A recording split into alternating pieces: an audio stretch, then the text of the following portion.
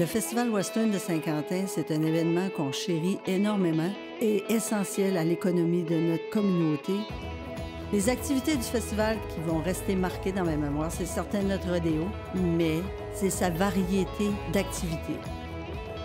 J'aimerais dire merci aux commanditaires qui croient en nous, comme l'Auto-Atlantique, qui, année après année, nous permettent d'avoir une vision plus grande